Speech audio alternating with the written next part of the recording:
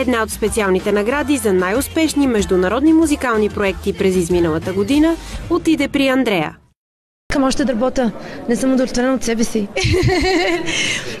Единствените грешки, които учител само в мене, защото смятам, че м- трябва да, може би, един път си казахме с моите, моите екипа, с който работим, хора, защо никой не достига времето?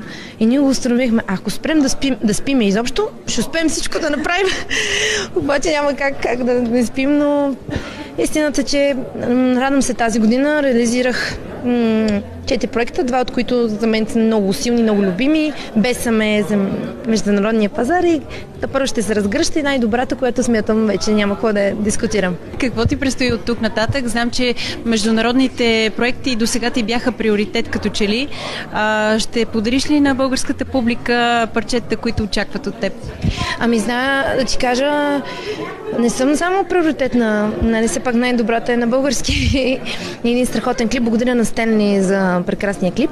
А, мисля, че сега скоро ще реализираме новия ме проект, който отново е на хитмейкъра Пашев, Николай Пашев. Ново парче, което според мен също ще има добър успех, дай да не го участваме. И специално, че вътре пее и Фики. Така че да, мисля, че ще... ето никъде не съм го казал, вие сте ексклюзивни. вътре взема участие неговия прекрасен глас. Така че надявам се песента да се хареса. Много ми е любим текста. Особено частта, която той пее. Между другото, Фики стана като че ли един от най-желаните дуетни партньори. Защо избра точно него?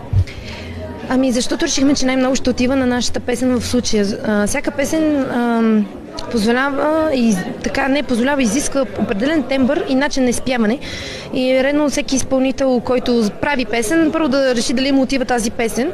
А ние в случай решихме, че него много му отива участието вътре. И много срам, че той дойде, веднага изпя много, много готин и много земен, така че много се радвам, че можахме да направим това парче.